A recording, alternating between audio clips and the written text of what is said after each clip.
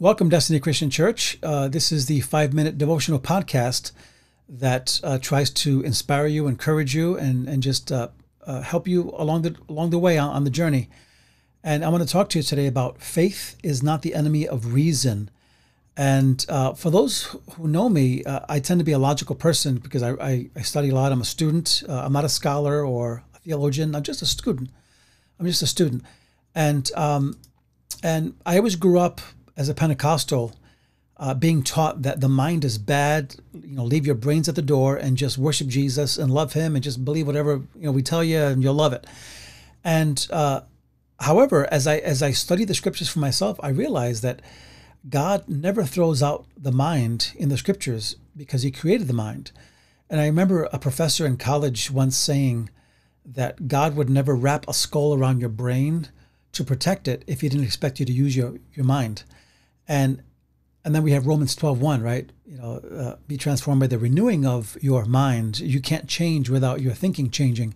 So God doesn't discard the mind; He renews the mind. He transforms it. But here's the point I want to make today: that faith is not the enemy of reason. Faith does not cease to exist in the presence of reason. In fact, God welcomes reason and all the arguments uh, in in the whole uh, idea.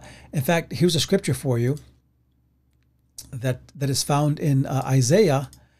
Um, Come now, let us worship together, or let us reason together, rather, says the Lord. And um, and and so so you have this this this idea that God is inviting His people to reason, right? He says, "Come, let us reason," and he he doesn't make any bones about it. He says, I want to reason with you. Sit down with me and, and tell me what is your what is your gripe? What is your beef? And so faith is the gateway to understanding. It's not uh, and, and reason is also a gateway to understanding, but not the gateway. So how reason was seen in the Middle Ages is very interesting. In the Middle Ages, reason was was not a bad thing. They didn't throw it out. The Christian Orthodox view, which is Orthodox is like that's what the church fathers believed. That's what the standard belief was at the time. Their way, the way they looked at reason was that gaining knowledge during the Middle Ages was was to them that the, that faith is your lens and knowledge comes after. So knowledge and faith, reason and faith were kind of connected together. And they use some fancy Latin, which I, I, can barely pronounce, even though I speak Spanish, but a fides uh, quaerens, which means faith seeking understanding. And so faith does not throw away knowledge or, or, or reason, it embraces it. There was another Latin thing they used to say, credo ut intelligam. I believe in order that I may understand. And this is very key because it was saying that the key to knowledge is faith, not logic. And yes, there's logic, but faith comes first. You have to believe, and then you understand. But when when when these times, when this generation died out, right, and the Enlightenment came, where everything is based on logic, they threw out this idea and says, no, you got to be, be able to prove it scientifically, or or else it's not real. And one of my mentors has since gone to his reward in heaven uh, he used to be a professor at MIT and Purdue University, and he had a team of engineers that he trained, and he trained thousands of engineers. And he would also he would always teach them a value that he said is is greater. The greatest value that I'll teach you is this one, and he would say, your greatest asset is not your talent. It's not your ability to do calculus and all these things to do your job. Um, but your greatest asset is your ability to imagine.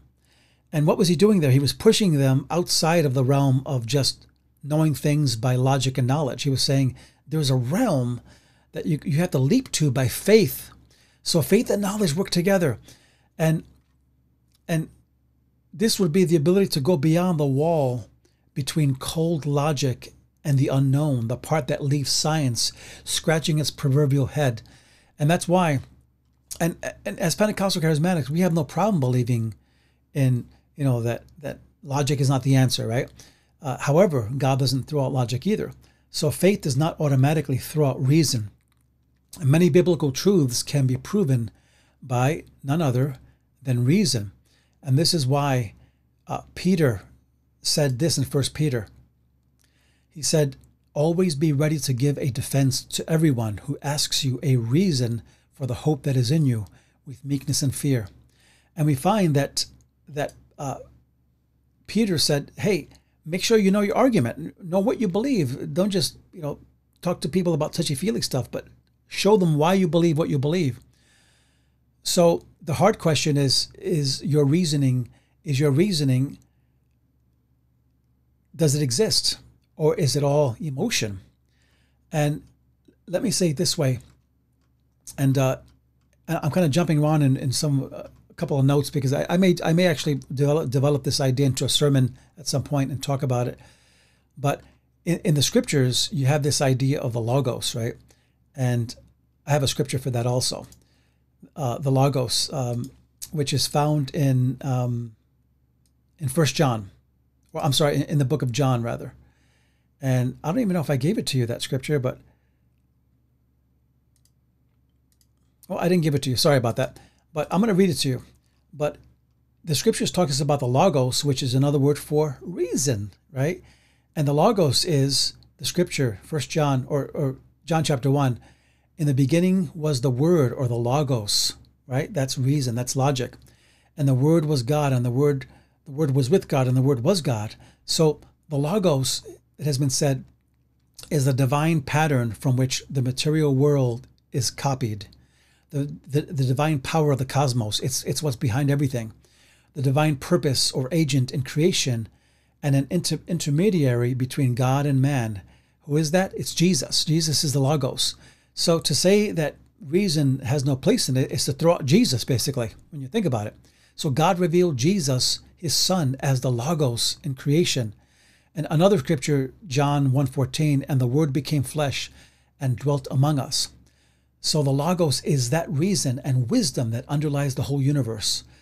It took on human form and became a human being named Jesus. So I want to encourage you today that science is not the enemy of reason. Or rather, let me rephrase that. Science is not the enemy of faith, and faith is not the enemy of science or reason. They can work together in this world. That's why we need more scientists who happen to be believers in Jesus.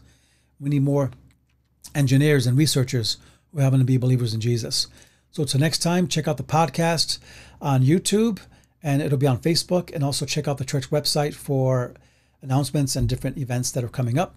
God bless you. So much uh, pleasure to be with you today. God bless.